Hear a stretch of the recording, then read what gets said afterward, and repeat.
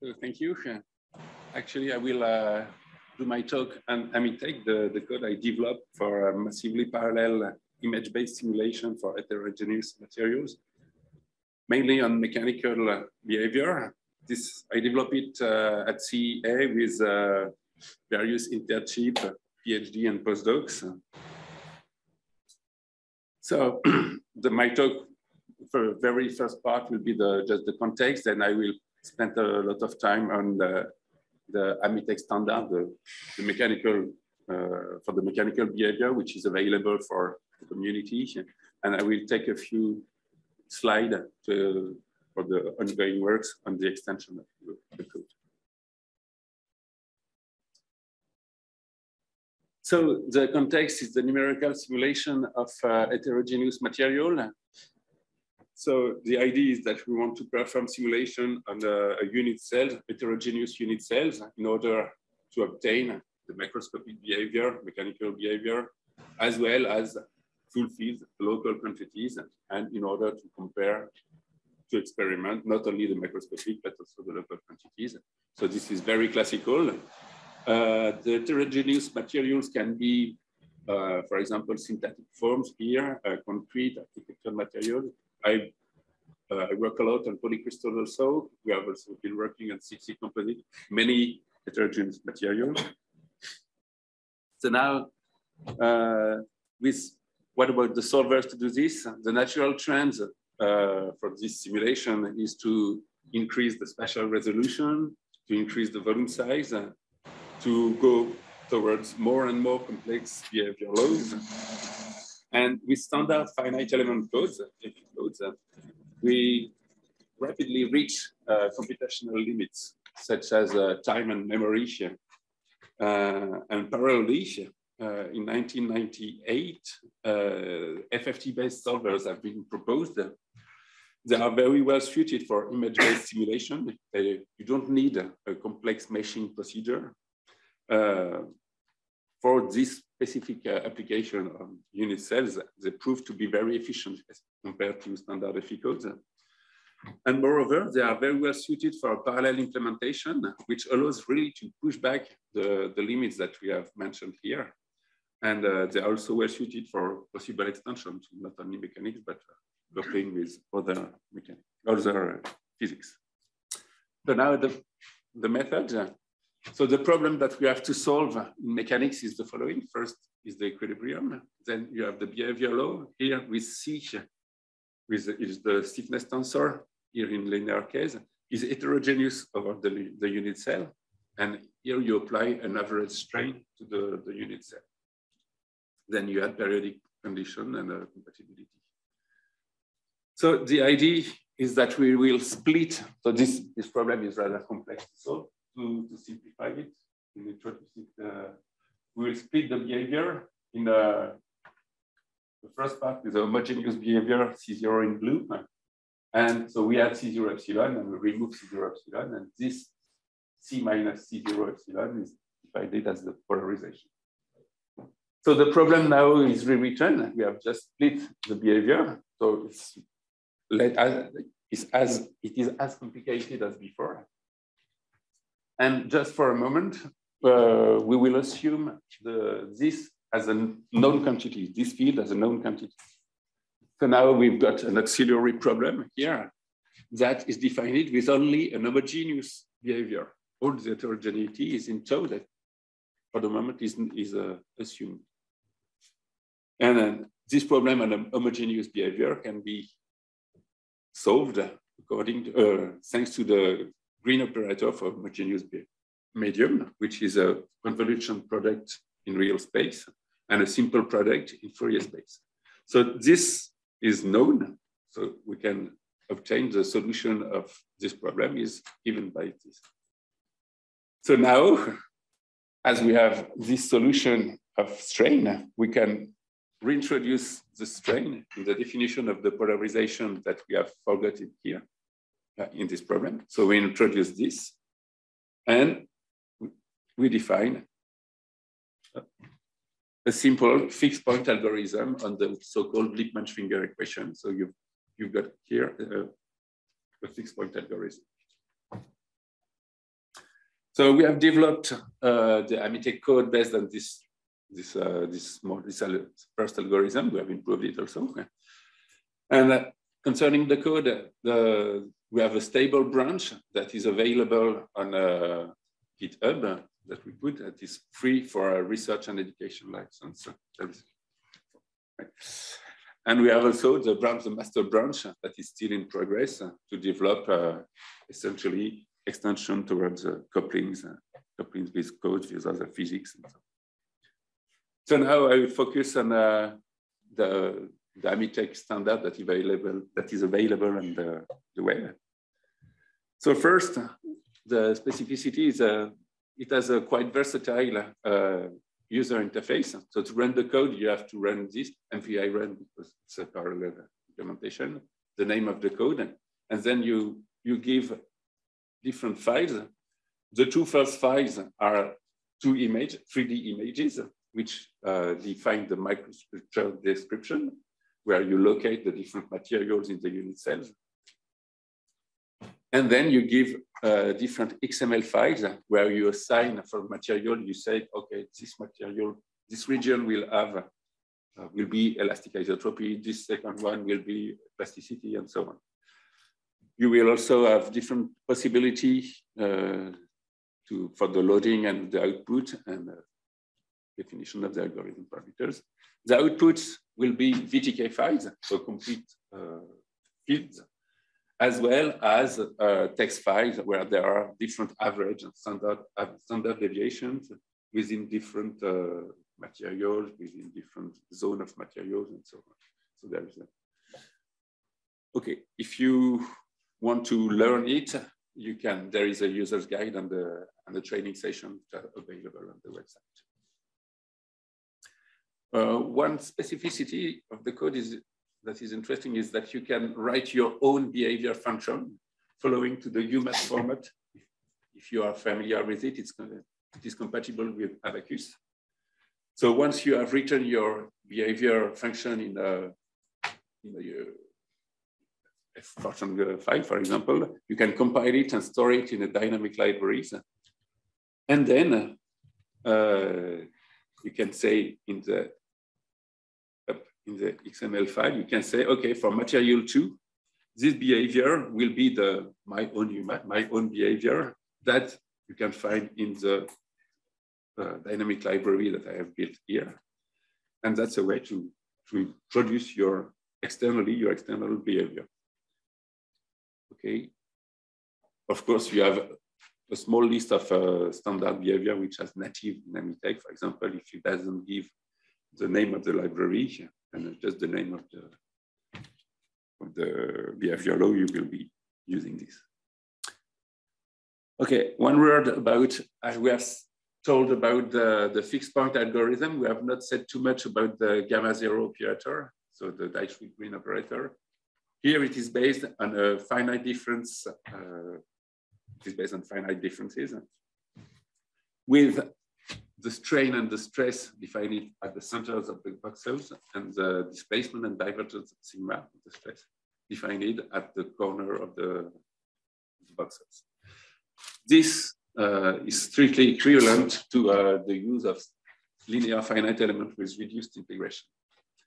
So uh, yes, I won't deal with the technical techniques, just uh, one slide to show that on the left, we've got a result with a AMITEX. On the right, a result with a real finite element code that is a purely finite element code.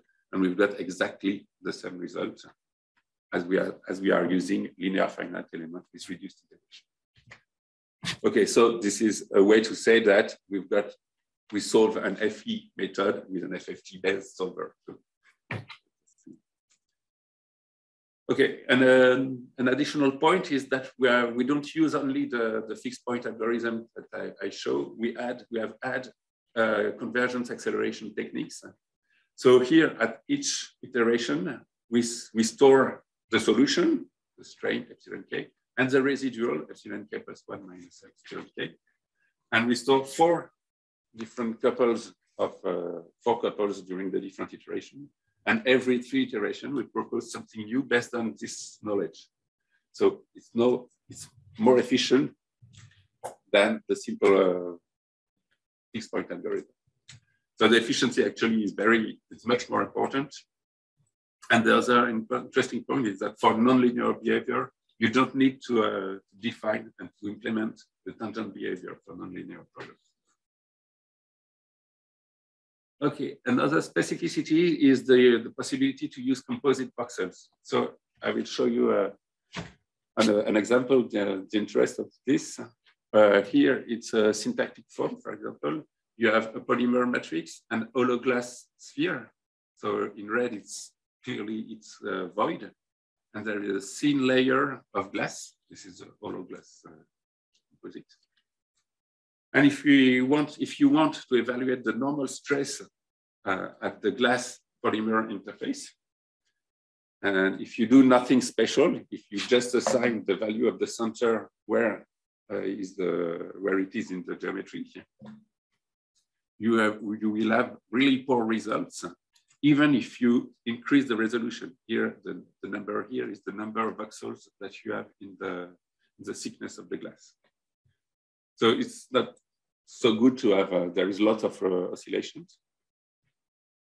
In that case, if you if you introduce voxel composites, so in that case, you, you know that there is an interface that goes through the voxels and the behavior of the voxels will, uh, will depend on the volume fractions of the different boxes of the different phases.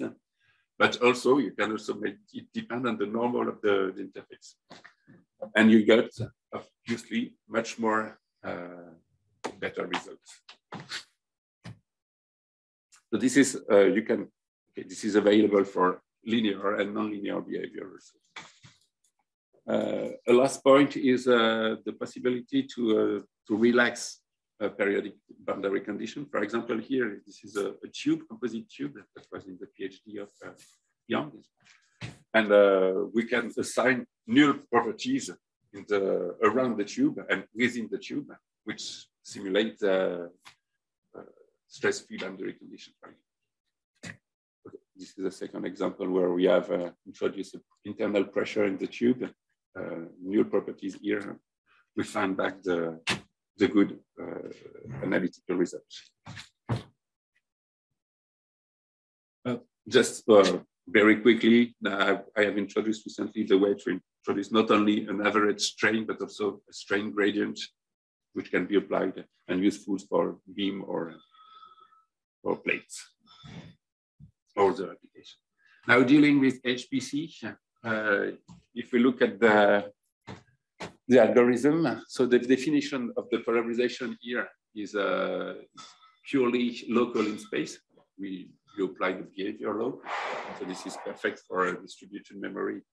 Uh, the, the green operator, sorry, the green operator is also local in Fourier space. So this is perfectly uh, parallel in uh, memory.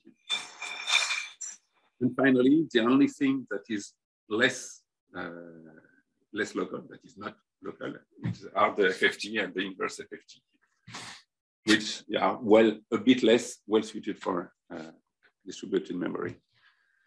So the decomposition that we use is not this one, it's uh, this one. Okay, this is a pencil, a 2D pencil decomposition of the unit cell. So this is interesting because we can use more process than with the simple the sum, the slab decomposition, the 1D decomposition. So the, the, the problem with FFT problem, yes. The inconvenience with FFT is that 3D FFT are a succession of 1D FFT. So if you perform in 1D, if the pencil is in this direction, there is no problem. But now in the other direction, you will have to transfer, to uh, transpose, sorry, uh, the data to be able to, to perform the FFT in the second direction and the same for the third direction. So all this work, all this stuff is done with the 2DECOMP library uh, and involves uh, MPI all-to-all communications. So in terms of scalability at the end, uh, I, I, propose a weak scalability. So the problem size increases with the, the number of nodes increases with the problem size. In that case, uh, if the perfect stability, the elapsed time should be constant. So here it depends on the, the behavior law. So for light behavior, I will say, for example, elasticity, this is very, very, very efficient. Then uh, we spent a lot of time in FFT and we are not exactly uh, purely uh, perfect, but it's not so, so horrible. Uh, on the contrary, for heavy behavior, I would say with every nonlinear behavior, you will spend a lot of time in behavior, which is perfectly parallel. And the FFT is just a small part of the total time. So this is, you can really, you have a perfectly perfect, perfectly scalable application in that case. Okay, now but just a few applications. So we have seen that it was useful uh, to use composite voxel for syntactic foams. I don't like here we have used uh, with Yangshen in the PhD of Yangshen. He has performed the uh, institute on site test on uh, six, six tubes. He detected the small cracks and parallelly he has uh, run 3D simulation on these tubes in order to obtain the stress concentration and compare the location of the cracks to the, the location of the stress concentration. So this was a 7 billion voxels, quite huge uh, simulations. Uh, another application that I'm working on is the, the simulation of intragranular plastic strain localization in polycrystal. Many of you work with that. Uh, but here you have quite complex behavior and you need to have a very fine resolution. So for that purpose, it's really important to have a massively parallel. Uh, another colleague of mine who is working with uh, with AMITEX. So I've not, he's a simple user of the code. I've not uh, worked with him. So he has been working on the coalescence of voids in single and polycrystals. So these are very interesting simulations because you have both finite contrast, finite strain, crystal plasticity. This is quite uh, heavy. And uh, he was happy with that. Uh, he also studied uh, stresses at grain boundaries to analyze intragranular cracking. So his input was 3D EBSD. So we have the 3D geometry of the polycrystal. He ran uh, AMITEX simulation with crystal plasticity in order to obtain the strain field, field, and to obtain the stresses at grain boundaries and compare the, these to the observation of cracks, whether it was or not. Another uh, original application and recent was a, a colleague of, at Meteo France who uh, used AMITEX to, uh, to run simulation on snow. So this is a CT scan of snow. He has identified the different uh, grains of snow, and in each grain we have crystal plasticity. So this is also a, rather demanding uh, application. So final, the few extensions. So this was, this is just before, uh, this is what you have when you download the code. Now I will just one slide on the different extensions, the ongoing works that I do with various uh, collaborations uh, with Yangshen. Yeah. So uh, he has been working uh, on damage phase fields, and we are still working on that purpose. With a postdoc, I'm working on multi-scale AMITEX, so I can perform a multi-scale with a large coarse, coarse grain and a smaller scale, and we can make interaction between the two simulations. Uh, with other colleagues at uh, VTT, oh, sorry, we are and at the University of Lorraine, we have performed a phase split simulation and solidification of solid phase conformations. And uh, okay, and P-porous uh, flow with junction once again. uh, and also decoupling with uh, coupling with dislocation dynamics. I don't know if you're familiar with that. Okay, there is a lot of application and I'm trying to stabilize this, uh, this way to incorporate various uh, extensions. And when it will be stabilized, I will put it on the, on the web That's for access to. Okay, as a conclusion, uh, okay, many FFT solver are of growing interest in using the community. To my opinion, AMITEX is well positioned uh, because of its versatile user interface and parallel implementation, and it allows for uh, original extensions. So for me, it was interesting because it's a support for various collaboration, and it can be used for uh, by different teams in, the, in France and abroad. Well, and elsewhere if you want to test.